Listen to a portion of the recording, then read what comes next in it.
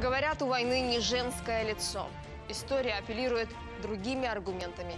У Великой Отечественной тысячи женских лиц. Это те, кто заменил своих мужей и отцов за станками на колхозных полях и лесных делянках. Это снайперши, летчицы, связистки, зенитчицы, фронтовые медсестры, работницы банно-прачечных отрядов. Рассказать о каждой, наверное, уже невозможно.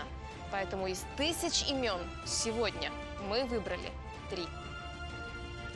Этот список начнем с имени Марины Росковой, первой девушки-штурмана в СССР.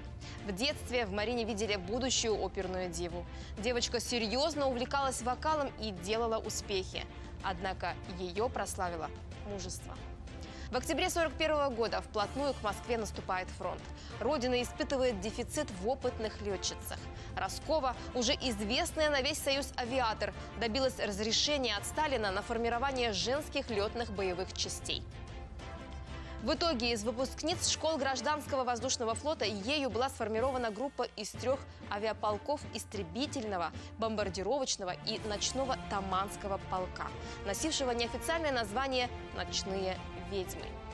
Только последние завершили 30 тысяч бомбардировок и сбросили более 23 тысяч тонн боеприпасов на наступающие немецкие армии за время войны. В роковой день января 43 года летчики Росковой вновь направлялись на фронт. В очень трудных метеорологических условиях около села Михайловка в Саратовском районе самолет майора Росковой разбился. Ей было только 30. Матрена Вольская – еще одно легендарное имя – Хрупкая 23-летняя девушка была разведчицей в партизанском отряде. Народные мстители летом 42-го освободили 230 населенных пунктов Смоленской области. Задачу вывести оставшихся в живых детей и подростков через линию фронта возложили на Матрёну Вольскую. Операцию держали в строжайшей тайне. Со всей Смоленской земли скрытно собирали детей. 23 июля колонна мальчишек и девчонок под руководством Вольской Матрёны двинулась в путь. Идти предстояло чуть более 200 километров по лесистой и болотистой местности. Мучил голод, опасность обстрелов, но больше всего дети страдали от жажды. Все колодцы в деревнях были отравлены немцами, а в водоемах плавали трупы. И брать из них воду тоже было нельзя. До ближайшей станции Торопец добирались 10 дней. Оттуда состав увез обессиленных, но живых детей в мирную жизнь. Город Горький. Есть в истории войны отдельная страница и для Марии Октябрьской. Потеряв на фронте мужа, Мария просит направить ее на линию огня. Но попытки попасть на поле боя не дают результата. В это время в стране идет сбор денег на укрепление техникой армии. Тогда, продав все свои вещи, Октябрьская жертвует деньги 50 тысяч рублей на строительство танка. Но с одним условием – назвать машину «боевая подруга» и разрешить ей стать членом экипажа этого танка. Об этом она в телеграмме просит лично самого Сталина. Стоит отметить, что Мария, будучи офицерской женой, в военных гарнизонах освоила водительское ремесло, прошла курсы медицинской помощи, научилась стрелять из пулемета.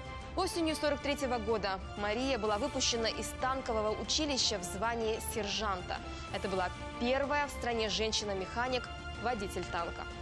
На башне новой 34-ки с двух сторон вывели белой краской «Боевая подруга».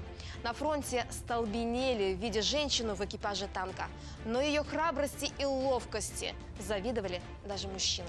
В одном из тяжелых боев Октябрьскую ранила осколком мины. В марте 44-го Октябрьская скончалась в госпитале. Биографии этих советских девушек, чью жизнь опалила Великая Отечественная, похожи друг на друга. Они – пример стойкости, твердости характера, неудержанной воли и смелости. Качеств, которые по определению больше присущи мужчинам. В период серьезных испытаний для Родины они проявили себя как настоящие воины. Вот уж точно, о таких не скажешь. Слабая половина.